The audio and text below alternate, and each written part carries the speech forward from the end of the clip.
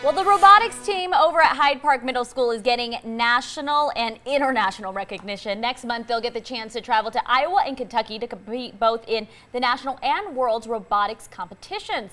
But they can't get there without the community support. Joining me now to talk about fundraising and robots is the OmniDroids. Good morning, you guys.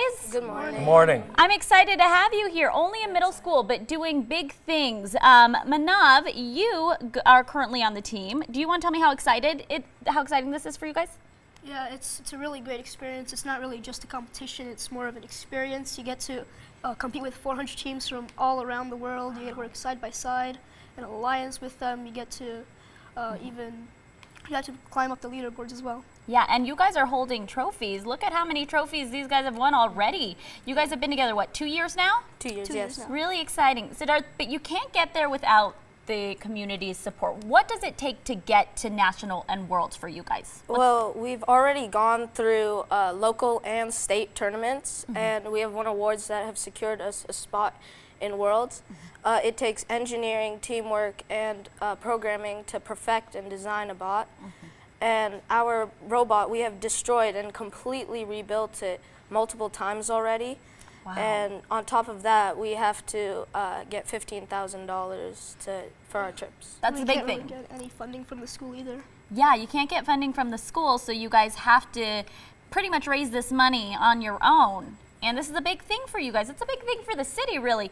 Uh, who wants to talk about the robot, the project you guys are actually doing? Nav, you want to take that one? Yeah, sure.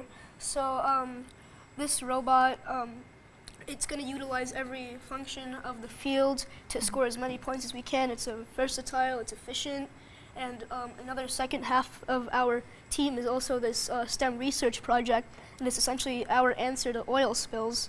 Uh, we're going Wow. to be cleaning them efficiently. We're going to use USV or unmanned surface uh, vehicle technology as long as well as hydrophobic absorption technology to basically accomplish this goal. How did you even get started with this?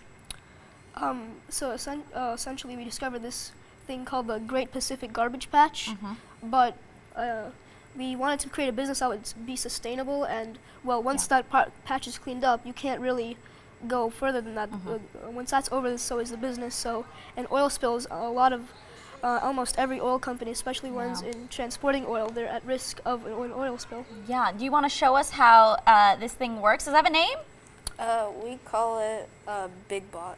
Big Bot. Okay. What does a Big Bot do? Well, um, it's simple control. Forward, backward, turning. You can also do strafing from side to side. You can also lift the arms to uh, four rings on the designated pole. Really cool. That is so exciting. You guys, obviously, you said you tore this, built it back. Mr. Patrick's, uh, you have been helping these guys put this all together. What does it mean to see them just finish it and get to worlds and nationals? Uh, it means everything to me. I've been doing robotics now for a lot of years. Actually, I've been teaching for 37 years, Wow. 20 of them at Hyde Park Middle School.